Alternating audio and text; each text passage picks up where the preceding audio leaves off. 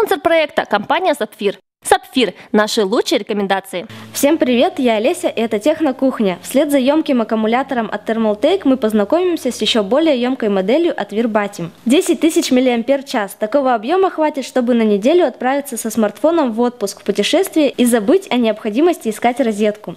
Конечно же, девайс можно использовать и для зарядки требовательных iPad.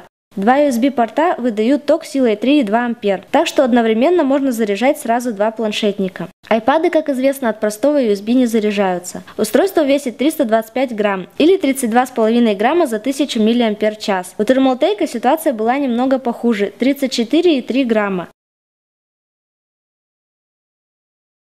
Оба зарядника можно перезаряжать до 500 раз, после чего производитель не гарантирует, что максимальная емкость будет сохраняться. Модель от Thermaltake запитывалась по microUSB кабелю, и его же можно было использовать для питания гаджетов с таким интерфейсом. Модель от Verbatim запитывается по мини-USB, но в комплекте есть microUSB. Таким образом, есть все три типа USB выхода под рукой.